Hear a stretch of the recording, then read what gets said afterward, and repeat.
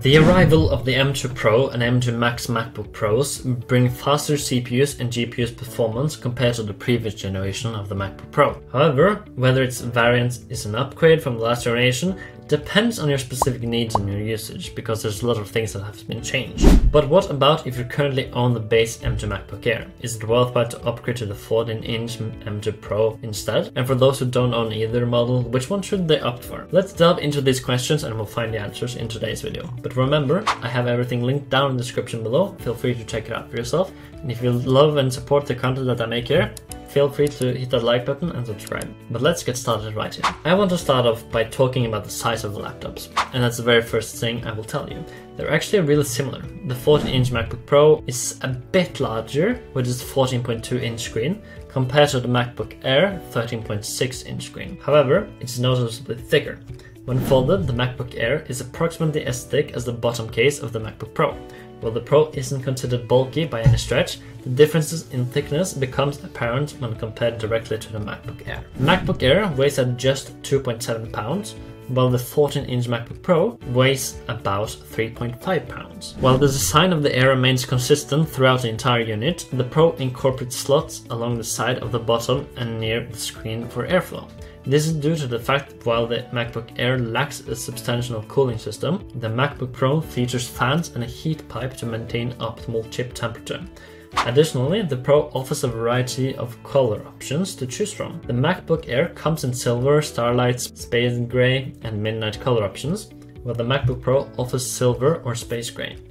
Whichever laptop you choose, the MagSafe cable will match the color you select in terms of connectivity. Both laptops feature a headphone jack and a MagSafe connector for charging. While the MacBook Air is equipped with two Thunderbolt ports, the MacBook Pro boasts three Thunderbolt 4 port, along with an HDMI 2.1 port and an SD card slot. The inclusion of the SD card slot is particularly convenient for those people who frequently transfer files, eliminating the need for an additional dongle. Furthermore, both the HDMI port and the Wi-Fi on the MacBook Pro has been upgraded from the previous generation, enhancing connectivity options and overall performance. The upgrade to HDMI 2.1 can support high resolutions and refresh rates up to 8K, 60Hz or 4K and 240Hz. The MacBook Pro offers a versatile display support capabilities with its HDMI port. It can accommodate one external display running at either 8K at 60Hz or 4K at 240Hz. Also, you have the option to run two external displays at the same time, either with two 60K displays at 60Hz via the Thunderbolt or utilizing one display over HDMI at 4K. The MacBook Air is officially limited to just one external display running at 6K 60Hz over one of its two Thunderbolt option ports.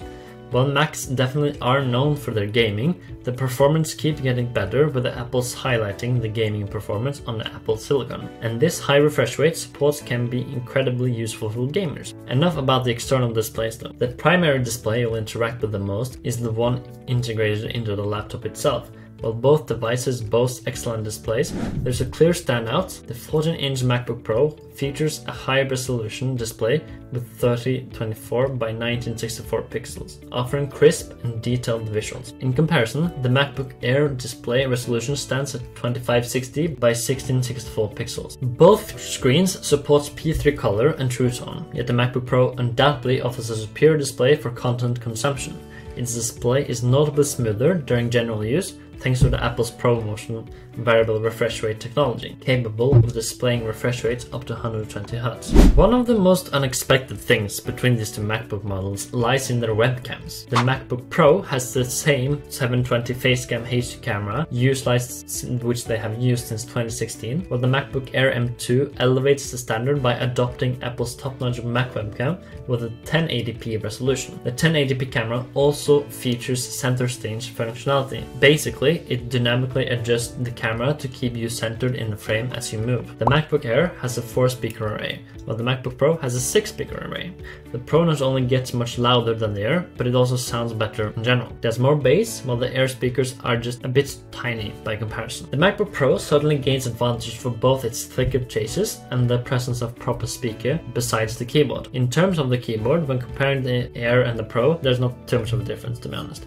The typing experience is essentially the same now that the Air has transitioned to full height functioning keys. Touch ID sensors still work great and are incredibly handy for accessing passwords and unlocking laptops. Performance is a crucial aspect to talk about, and the M2 Pro chip offers a significant boost over the standard M2. In fact, it outperforms the M1 Max in many benchmarks, making it a compelling choice for tasks such as video editing, Photoshop, and rendering, if your workload primarily revolves around web browsing. However, the performance difference may not be as noticeable. In terms of cooling, the MacBook Pro incorporates a robust cooling system with two fans, heatsinks, and a heat pipe to effectively manage heat generated by the M2 Pro chip. This allows the Pro model to maintain superior performance over extended periods and reduces the risks of overheating. Despite the presence of fans, they operate quietly. For those satisfied with the performance of the M2 Air, there's an option to enhance it further by applying a cheap thermal pad to utilize the bottom of the case as a heatsink, providing a slight performance boost to the M2 chip. There are numerous configuration options which you can consider, each impacting performance differently. The MacBook Air starts with 256GB of storage on a single NAND chip, resulting in slower storage compared to the MacBook Pro 512GB split between two chips. Both models have seen a decrease in storage performance from previous generations,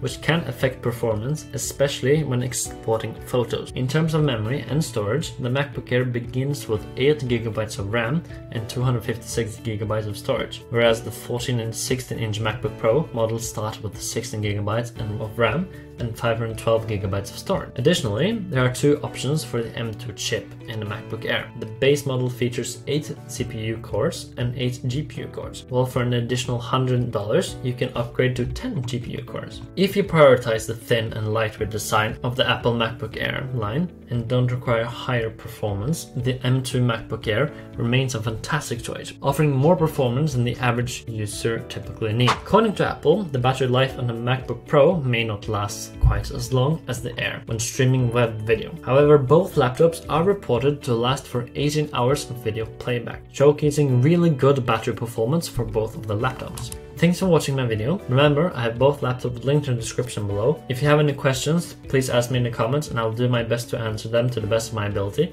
Have an amazing day and I'll see you in the next one.